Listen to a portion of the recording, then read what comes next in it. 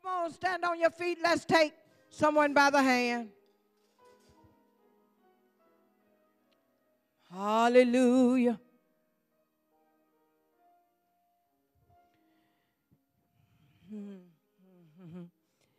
My, my, my, my, my. Indeed, God, we don't want rocks to cry out for us. So we humble ourselves. We surrender who we think we are so that we can see Jesus.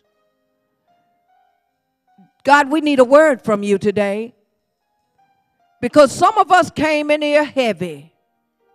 Some came because loved ones were ill. Others came for other reasons. But we all came because we need a word. So, God, we thank you for what you've already have done. We thank you, God. If we had a thousand tongues, it would still be thank you, Lord. If we had a thousand tongues, it would be bless you, Lord. So, God, we ask right now, we offer these praises unto you. And Lord God, I'm asking that I will decrease, that you will increase, so that they would see Jesus. In Jesus' name, amen. That they would see Jesus, that they would see Jesus, that they would, that we would, that we would see Jesus. Hallelujah. Hallelujah. I bless God for each and every one of you. Thank you so very much for allowing me to go on, on travel last week. Um, God showed up, and I, I am grateful for that. I'm grateful for this praise and worship team. Amen. And for Brother Will, let me say thank you. Thank you, thank you, thank you for a new addition, Brother Chris Jordan, who is at Grant AME Church, who has volunteered to come over on third Sunday and be with the praise and worship team. I thank you for the Alphas and Omegas. Amen. Amen. I thank you for this ministerial staff, the doorkeepers, for all of you that have gathered in the name of Jesus the Christ, the Son of the living God. I greet you this morning. Amen. To the visitors, it is certainly no accident that you stopped by the number one church because we are the only church in the whole wide world that sits both on humanity and divinity. So when humanity and divinity met, it created resurrection. So you came to the right place at the right time because it is time for you in your sanctified soul to be resurrected. Amen. Amen. Amen. There is a word from the Lord. And if you have your Bibles, I would ask that you turn to Philippians we're changing the scripture that was read this morning. We're going to read Philippians 3:14. Philippians, Philippians, that's New Testament. If you go past Ephesians, right, and, and please stand. Please stand for the reading of the word. If you don't have a Bible, there should be one in your pew. Amen. If, the, if you don't know where Philippians is, go to the table of content. It'll tell you. Amen. Amen. Amen. If you have it, say amen. If you don't have it, if you don't have a Bible, is there not a Bible, Yvette, on your pew? Share Bibles. It is not in the scripture. Amen. If you don't have it, we'll put Bibles in the pew. But for now, let me just read what it says. Philippians 3, and I'll be reading Philippians 3 12 through 17. Amen. And this is what it says Philippians 3. It says, Not that I have already attained or am already perfect, but I press on that I may lay hold of that for which Christ Jesus has already laid hold of me. Brethren, I do not count myself to have apprehended. But one thing I do, say, there's one thing I'm going to do. I'm going to forget those things which are behind, and I'm reaching forward to those things which are ahead. 14 is where I want to concentrate on. He says, I press toward the mark or I press toward the goal for the prize of the upward call of God in Christ Jesus. Therefore, let us, as many as are mature, have this mind. And if anything you think otherwise, God will even this to you, reveal this even to you. I want to concentrate briefly on 14. I press towards the mark. I press toward the goal for the prize of the upward call of God in Christ Jesus. The word of God for the people of God. You may take your seats. Also, let me say briefly that um, the lay organization is having a bus trip. It was it was not mentioned in the announcements, but I want you to please, please, please. It is July the 20th. It is to help them raise their budget. Amen. You could see Lady Daisy, Mother Daisy, Brother Will uh, for more information. Amen. But definitely, please, it is in your bulletin. It is a well worth trip, worth taking. Amen. Just briefly this morning, I want to deal with the topic there are champions among you. There are champions among us. Look at yourself, point to yourself, and say, I'm one of them. There are champions. Come on, say it like you mean it. There are champions among us. Now, I'm one of them. I'm one of them. Amen.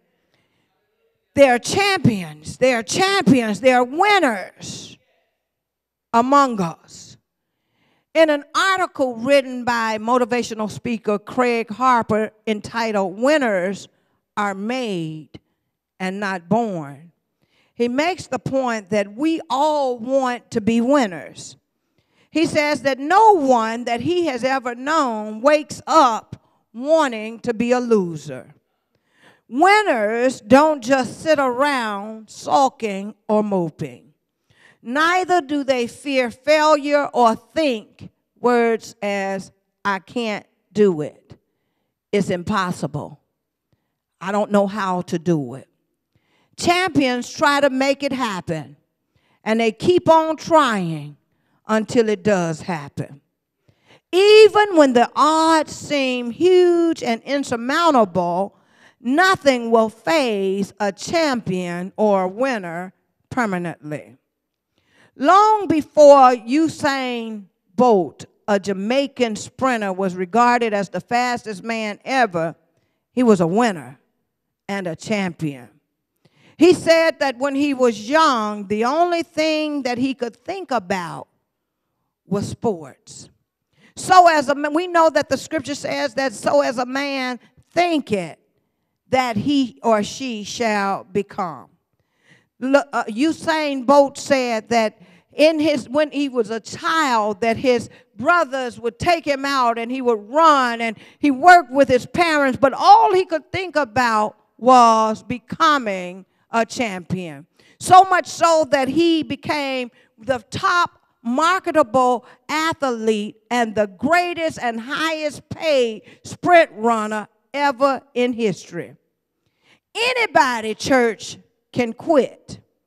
It's exactly what your adversary or your competitors hope you will do. And there's really always an excuse to do so.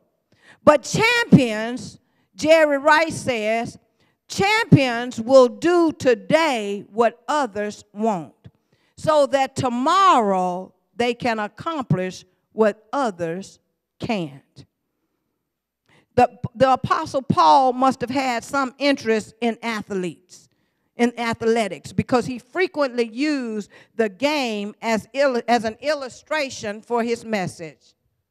Hmm. He would use words like, I wrestle not, representing a wrestler. I wrestle not against flesh and blood, but against principalities and powers, against the rulers of darkness of this age, against spiritual hosts of wickedness. He went on in Second Titus 2 and 5 to say that I I'm sorry, 2, 2 Timothy 4, 7 and 8. I have fought a good fight. I have finished the race. I have kept the faith. Thus, Paul warns for his readers spiritual lessons from the world of athletics and perhaps even from the Olympic Games themselves. In Philippians 3:14 we read, "Not as though I had already obtained, either were already perfect, but I follow after, if that I may apprehend that which also I am apprehended of Christ Jesus. Hear this. He said, Brethren, I count not myself to have apprehended, but this one thing I do, I pray, I forget those things which are behind, and I am reaching forth unto those things which are before. I press toward the mark of the prize of a high calling. The church of Philippi was founded by the Apostle Paul. It was written, it is believed by most theologians that it was established in the second missionary journey, recorded in Acts 16 1 and 40. Paul originally went to Macedonia because of a night vision described for us in Acts 16 and 9.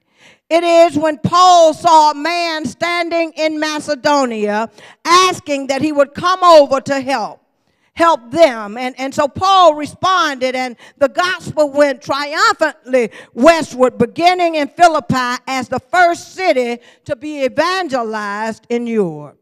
Most theologians agree that one would be hard pressed to find one single passage from the book which might serve as a key verse.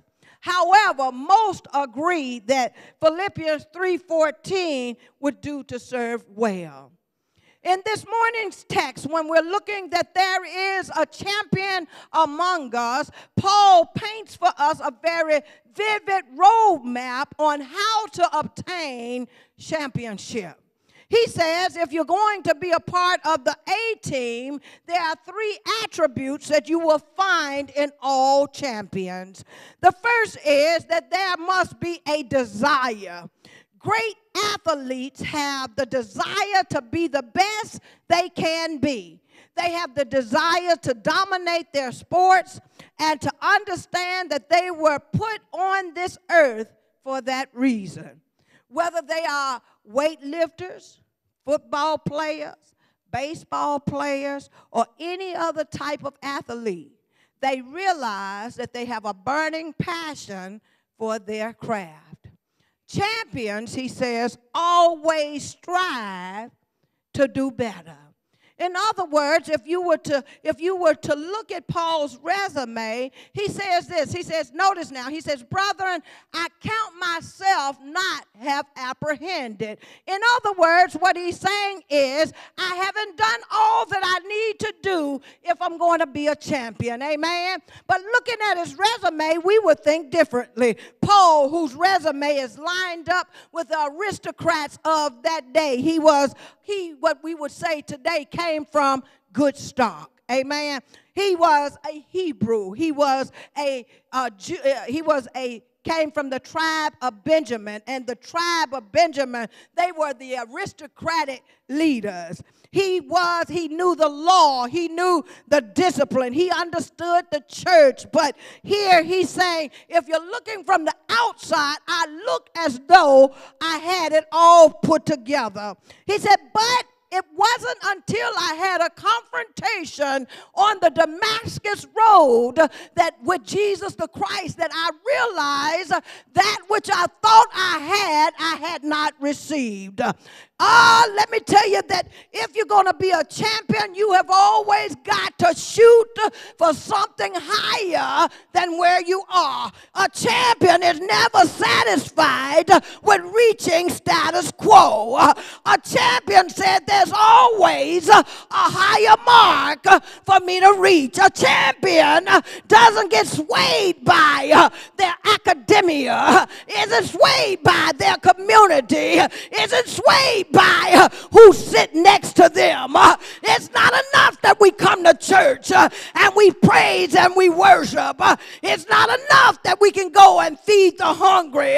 If you don't think there's more, then why are you coming to church? Ah, he says, he says, he says, listen, church.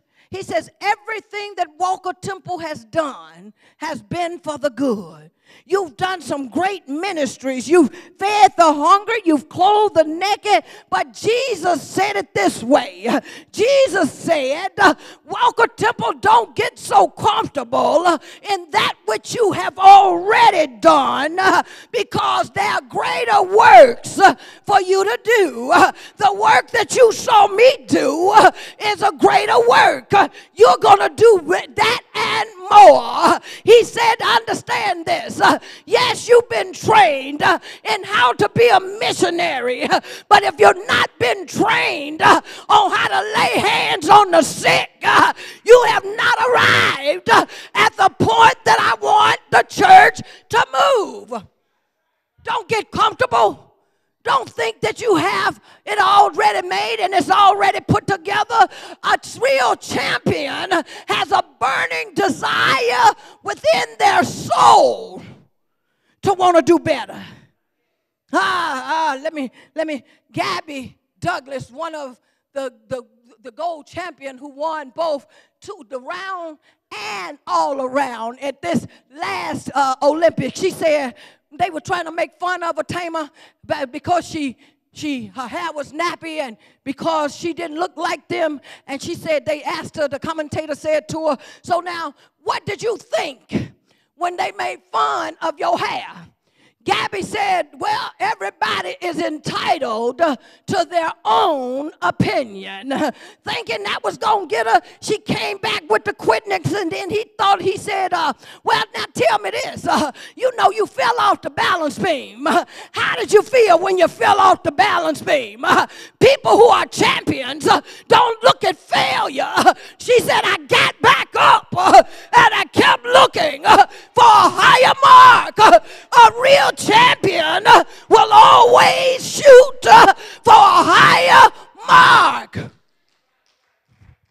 Ah, here we go, here we go. He says, he says, Paul says, now if you're going to be a champion, it's not enough for you, Keisha, to have a desire to be better. We, we tend to think that it's okay, that's all we need. I have a desire to write a book, but I never put pen to paper. I have a desire to go get a job, but I never get up and go fill out the application. I have a desire to be a praise team leader, but I never show up for rehearsal. I have a desire. He says, You got to take it a little bit further than a desire. If you're going to be a champion, uh, and champion you have been born to be, uh, then you got to be dedicated to the cause. He says, Notice now, he says, He says, I cannot act like I got it all together. He said, but here's what I'm going to do. He said, I got to lay hold on that thing that Jesus has laid hold on me. In other words, he's speaking about my level of commitment. If you are going to be a champion in the 21st century, you got to be committed to hard work. He says you got to rise up early and go to bed late. Psalms 1 and 2 says that I delight in the Lord. I want to do everything that the Lord told me to do do when it's raining outside. I need to get up and tell God thank you for the rain. When I have food on my table, I need to say, God, thank you for the food on my table. God, thank you for bringing us to church this morning. God, thank you for making a way out of no way. He said, You got to be so committed that even when it doesn't feel right. It's easy Lady Terry, for us to go on a sunny day and sit and holler when the Dodgers are winning, when the Clippers are winning, but it's hard to get up and make yourself go when they the losing team hadn't scored one point and it's raining outside. He said, but commitment will drive you to that place where you understand that it does not matter what it looks like outside. Dedication, Dr. Tamer says this. It says, I, Paul, who is writing from a jail cell, had a reason to stop, had a reason to throw in a towel. Paul writes to the brethren and he says these words. He says, I want you to know that it's a bleak situation if I'm looking from the natural. But because of the things I used to do and the places I used to go, it is not as bleak as it could have been. And since it isn't as bleak as it could have been, I want y'all to have joy. Because when you're dedicated to a situation, when you're dedicated to kingdom building, you can be in a prison cell and still talk about Jesus champions uh, who are dedicated uh, look for red seas to be parted. Uh, they look to put make wine water out of wine. Uh, they look God uh, when when you're a champion, uh, you're looking for a reason to preach the gospel. you're not bound by what they think, and your current situation does not determine the outcome the current unique situation does not dictate to me my attitude. Uh, let me say that again.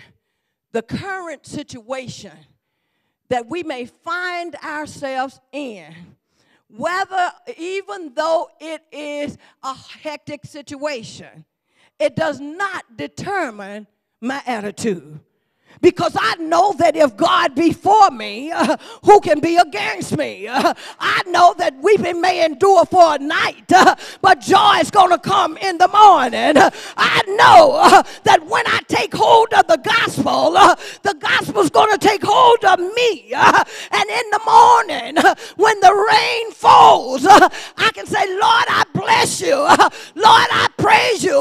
when I don't have money, you're my provider when I'm sick in my body. Uh, you're my healer. Uh, when I'm troubled in the courtroom, uh, you're my lawyer uh, because my attitude uh, is not predicated uh, upon my situation. I can sit and say, For God I live, for God I die. Blessed be the name of the Lord. Say it.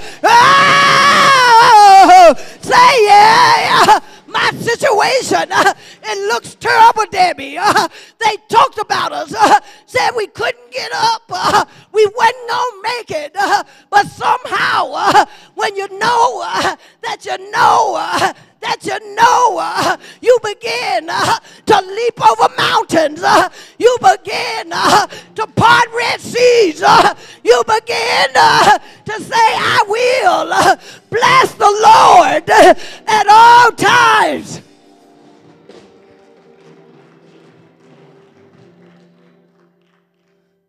Paul says, he said, now, you are champions.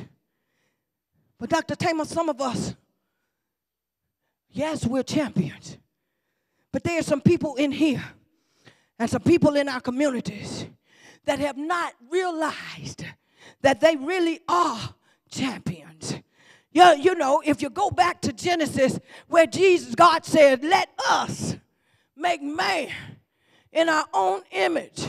It was never designed for you to fail. But the problem is, we're still in the warm up position. We're still trying. When he said, I've already given it to you, we can't come out of the warm up position. so we never realize the fullness of our potential. Well, what do you mean, Reverend? Warm up position. You know, I've never played sports and I don't quite understand it. Uh, so tell me what you're talking about. Uh, well, I'm glad you asked because when you warm up, warm up, warm up means that you're not quite ready. You're using every technique you can, uh, but for some reason, uh, you know the bad relationship uh, that didn't work last year, uh, and you're still stuck on it uh, this year. That's warm up position uh, because you failed to see that that relationship was not good for you anyway. so you walk around with your head hanging down you walk around bad, mad uh, and bitter uh, and angry at the world. Uh, you know, warm up position. The one that says that you allow people to dictate to you who you are. You know, y'all, y'all, y'all, am I talking to myself? Hey, Will, you know the warm up position that says if nobody comes to church, I'm gonna have a bad attitude.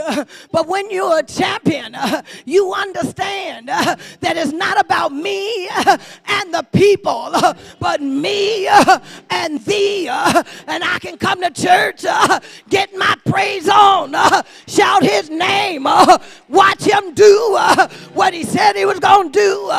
you got to be so dedicated that guess what? the things I used to do, I don't do anymore anymore. The places I used to go, I don't go anymore. The folk I used to hang out with, I don't hang out no more. Why? Because I'm pressing towards something that's far greater than what you can see right now.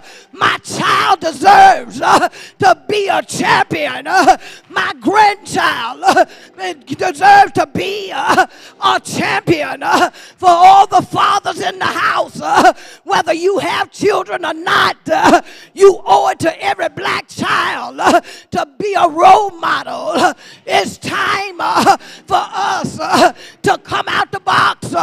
It's time to get out the gate and take off.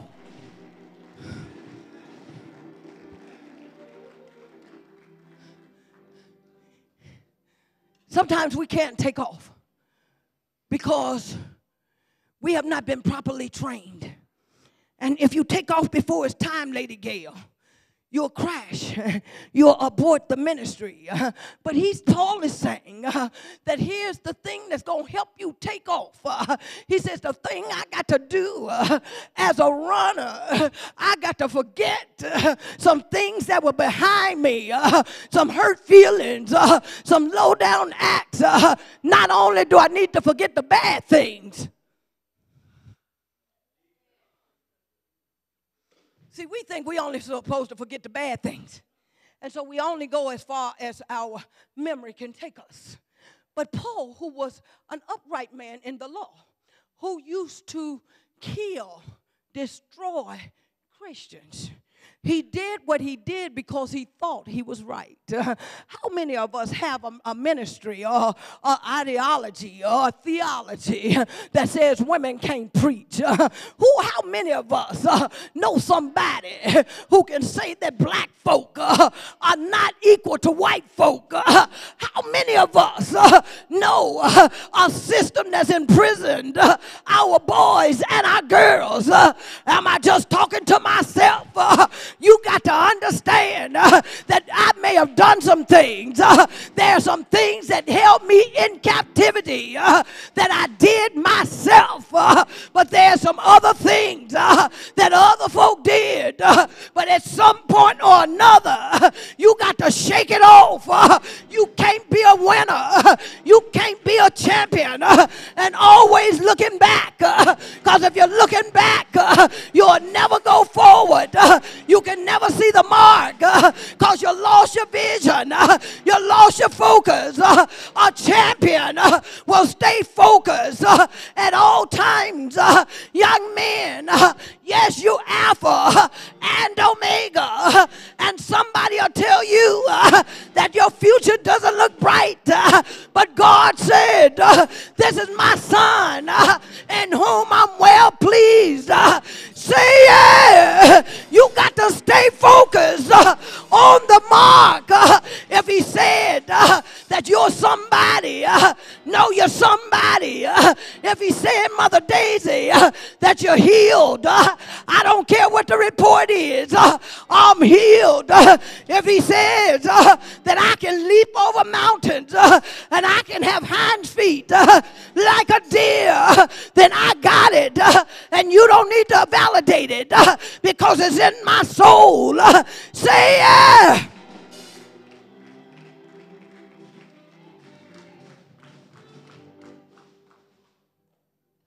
Last point. He says, you need a desire. But desire plus dedication is not enough.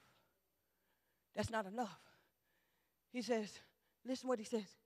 He said, I press toward the mark. That word press, the Greek word for that is dioko. In within that word, it says that you will, he will flee. He will be persecuted. Huh? It says that he will pursue. Ah, so so so so if I'm going to press, uh, that means I got to run after. Uh, Jesus the Christ. Uh, if I'm going to press uh, when the times get hard, uh, when the people start talking about you, uh, when they stop writing your letters, uh, when they hang up the phone in your face, uh, when they persecute you, when they lie on you, it's easy for us to run toward the mark when everybody's your friend and everybody's slapping you high five. but if you're going to be a champion, there's going to come a day Wellington, that you're going to run by yourself. Uh, there's going to come a day uh, that teachers won't try to teach you. Uh, there's going to come a day uh, when preachers won't see your potential uh, and bishops won't call your name. Uh, but I want you to know if you're going to win the race, you got to press, you got to run, you got to run. I don't know about you, but I know a man who was pressing his way uh, and he kept his eyes uh, on the prize.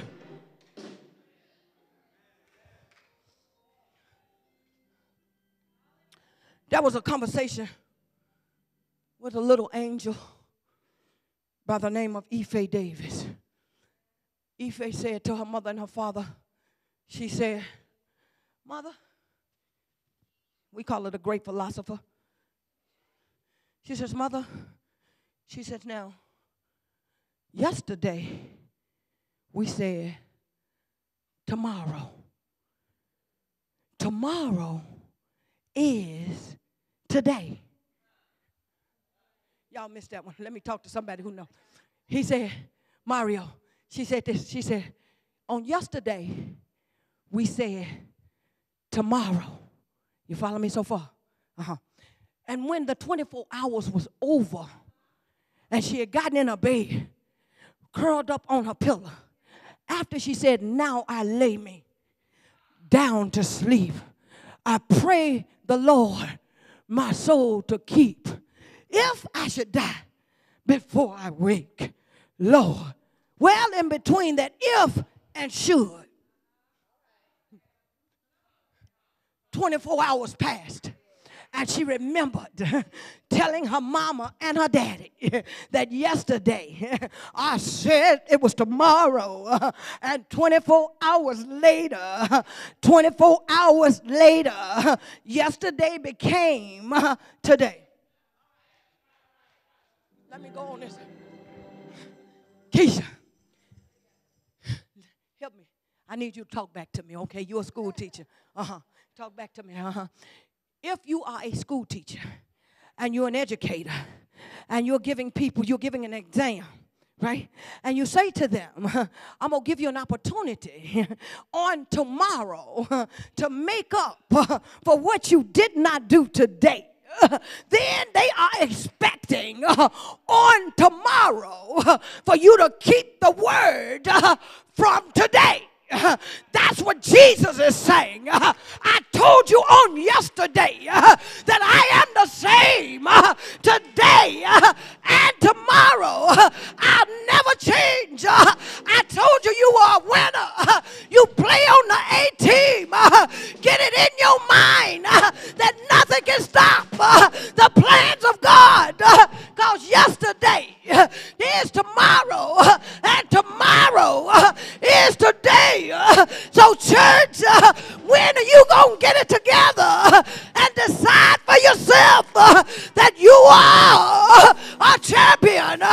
When are you going to say enough is enough? When?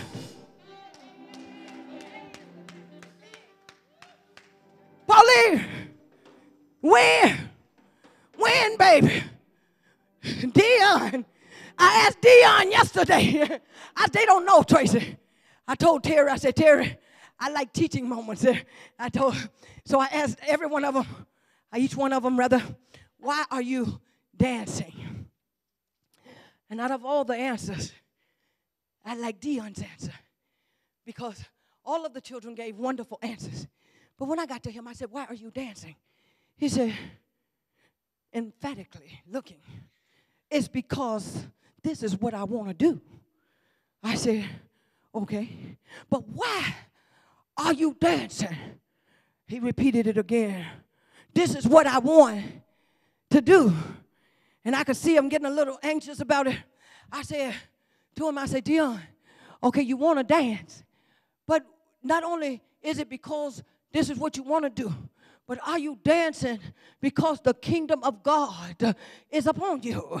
And he said, That too.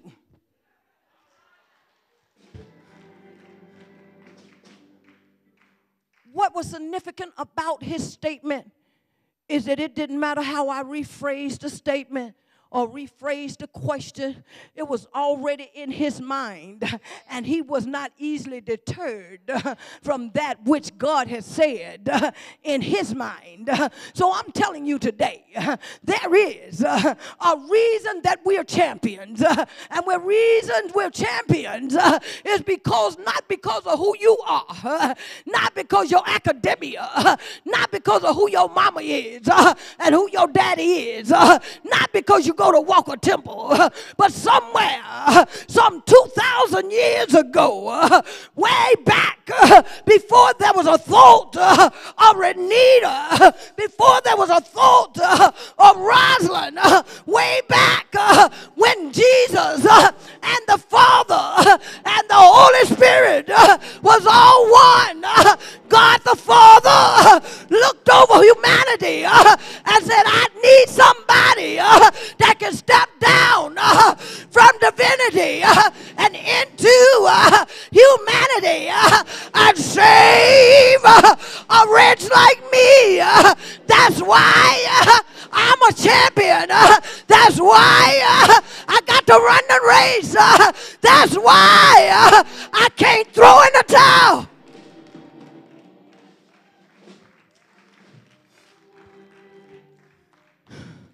Stand on your feet.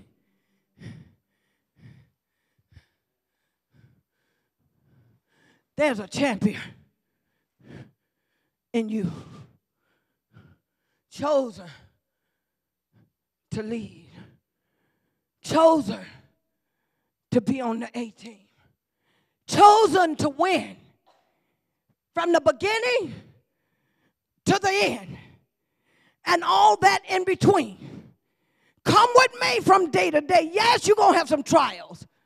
You're going to have some storms and you're going to have some troubles, and people aren't going to like you, and they're going to talk about you. They're going to talk about what you look like and what you sound like. But God declared uh, before the heavens were formed uh, that you were a champion, uh, and it doesn't matter who uh, or what, uh, where they come from. Uh, stick your chest out, square back your shoulders, lift up your head, and say, I am a champion.